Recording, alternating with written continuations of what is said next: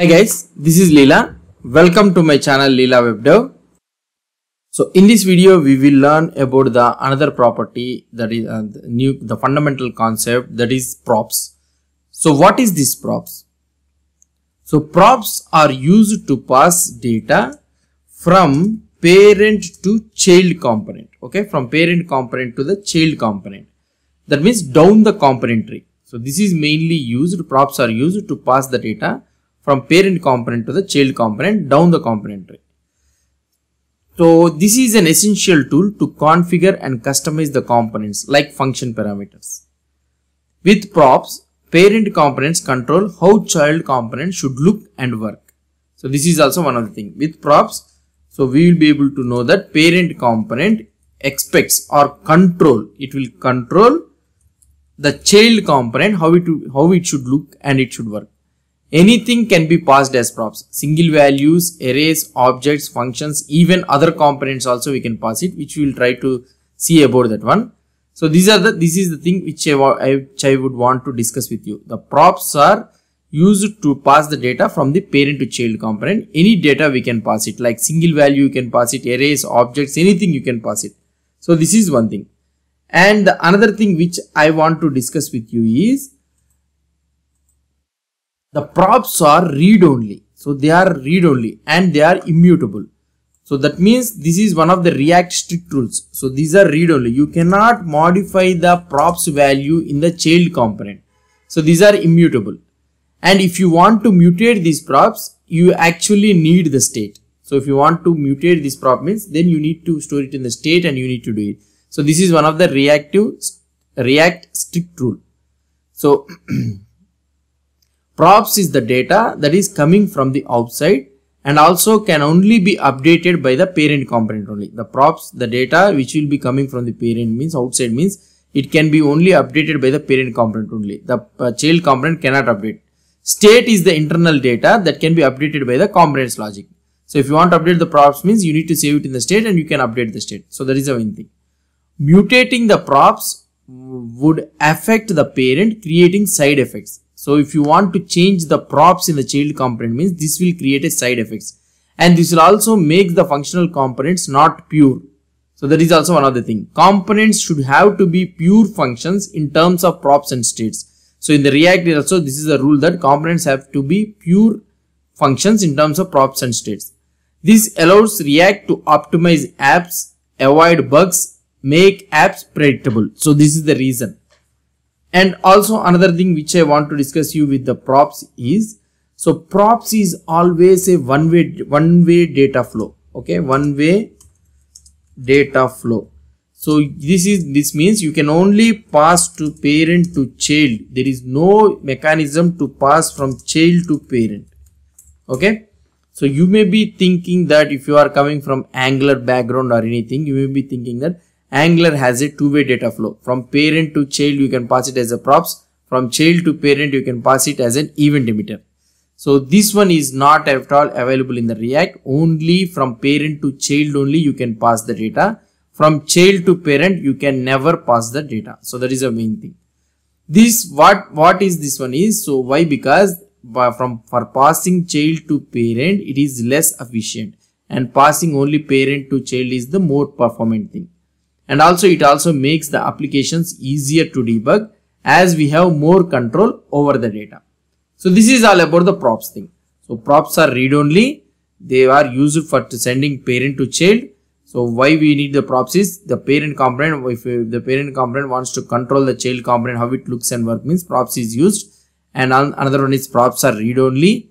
And the props, uh, so the React components only supports the one way data flow and that is nothing but parent to child. Child to parent is not at all supported. So there is another way how we can implement this one for implementing this child to parent thing. We will try to see in the upcoming videos. So just we will try to learn one by one.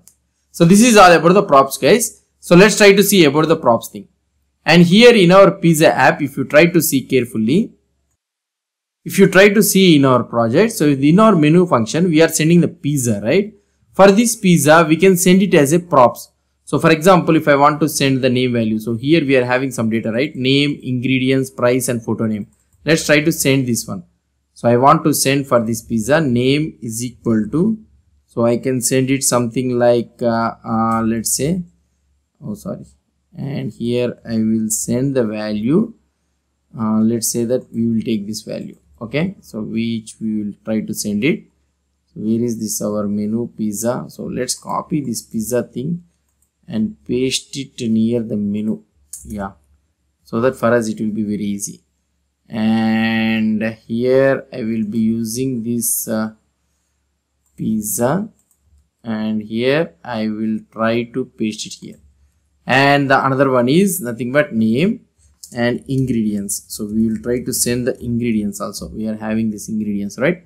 So ingredients I will try to send it. So we can send it like this afterwards we'll try to make it dynamic. I want to explain you about the props thing. And price we'll send the price also. Price is equal to and whatever the price is there 18 or anything we'll send it. And the another one which is having photo name. Photo name also you'll send it. Last one. Photo name is equal to and the photo name we are having is this one. I will try to show you. And we'll paste it here so now these are the props we are trying to send it right? So these props we need to capture it to here. So here we can capture it using the props. And here if you want to mention this one so here i can mention it something like source is equal to so here I can mention props dot photo name. And here the alt should be alt should be props dot uh, what is that one uh, name. I will use the name. And here also it should be props dot name props dot name and here you will be able to see the title has been changed. And here I will use the ingredients. So that should be props dot ingredients i'm using it like this and i will do the span. Sorry not span paragraph element. I will do the paragraph element. And this one also will do the paragraph element only yeah and if you want to show the price we will show it uh, something like uh, props dot price okay so we are able to show the price also here. So I will design this one all. I will not show the styling of this one pizza and all those things. I will try to design it. And this one we have did it right. And we have completed the pizza thing. And if you want to reuse this one, so you can copy this one and you can paste it directly. So this one pizza, you can have it something like pizza Salamino. You can change that properties name. Here you can write it like this. And the ingredients also, if you want to change it, you can change it also. Now for example, let's say that for this 18 and this one is having 14, right? So for example, if I want to do something like for the price, I will do plus 4. If I do it like this, what it will happen? 144 and 184. It is appending instead of adding. So if you want to send the value means to the props, so here you need to send the 18 like this. Now if you try to see here, it will be updated to 22 instead of 184. So like this, we need to send the props. So I am trying to explain you clearly about these props. So this is how we will be sending the props into the from parent to the child component. Hope you understood about this one. What I will try to do is I will commit this code in a new branch video hyphen 10. Okay, about the props thing I am explaining you. And here props data. So it is very simple only. Just I want to explain you about this one. So I have published this branch whoever may be having a doubts in this one so they can go to my github repository url the link is provided in the description below whoever may be having a doubts they can go to this particular repository url whatever the video you are watching you can go to that particular branch of that video and you can refer this code hope you understood about this props data if you have any doubts or any suggestions please post the comments below to this video. And if you like this video please do support me by subscribing to my channel. Thank you